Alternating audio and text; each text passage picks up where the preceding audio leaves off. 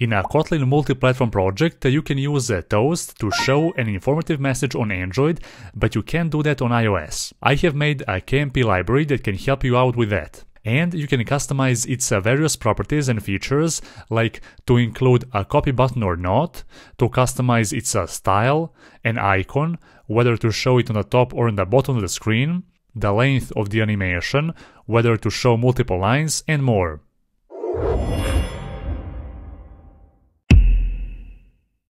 I have already released this library before, but uh, that uh, previous one is available for Android Target only.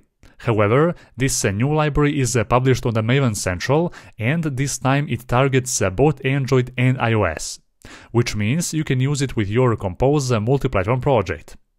It's very easy to use, and it offers a lot of customization options.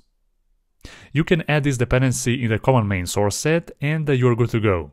After that, in your uh, shared uh, app Kotlin file, declare and remember a message bar state. Then call content with message bar composable, which uh, should wrap your composable content on top of which you want to show the message bar. Pretty straightforward. You can practically place anything you want inside. Then, if you check the source code of this function, you will see a bunch of different parameters that you can customize, even a transition animation. This library was uh, made uh, using Jetpack Compose, and the only thing that I needed to implement uh, on each platform separately is a timer manager class that handles how much the message bar component should be visible on the screen. As you can see from the source code, we have two actual implementations and one expected behavior. There are also other ways to achieve that, but nevertheless.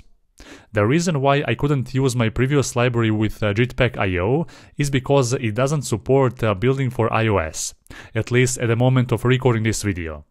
Anyways, I always uh, wanted to publish the library on Maven Central, and even though the initial process is a little bit uh, tedious, I've uh, still managed to get it to work. If you want to see a, a full video tutorial about uh, publishing a, a KMP library that targets both Android and iOS, on a Maven Central, then comment down below and let me know. Other than that, don't forget to like this video, but only if you find it helpful. Thank you for watching.